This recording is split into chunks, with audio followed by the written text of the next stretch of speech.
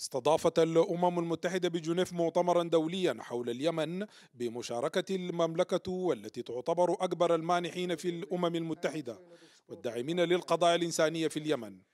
الأمم المتحدة بدورها أعلنت عن سعيها للحصول على أربعة مليار وثلاثمائة مليون دولار لدعم خطتها الإنسانية في اليمن خلال العام 2022 This year, almost three quarters of the population of Yemen will need and depend on humanitarian assistance and protection to get by, to survive.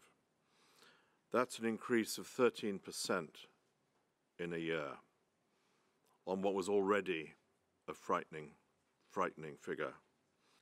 المملكة أكدت دعمها المتواصل للشعب اليمني وحرصها على أمن واستقرار اليمن وأن الحل السياسي هو الأمثل للأزمة مؤتمر جنيف أدان الهجمات الحوثية المتكررة على المملكة وتقويضها لأمن المنطقة. حرصا من المملكة العربية السعودية على الشعب اليمني الشقيق فلقد قدمت خلال السنوات القليلة الماضية ما يزيد على 19 مليار دولار أمريكي كمساعدات إنسانية وإغاثية وتنموية واقتصادية. وتصدرت المملكة الدول المانحة لليمن. خطة الاستجابة الإنسانية في اليمن للعام 2022 التي أعلنت عنها الأمم المتحدة بلغت حتى الآن مليار وثلاثمائة مليون دولار. سيخصص جزءا كبيرا منها إلى دعم عملية السلام التي تستند على المرجعيات الثلاث.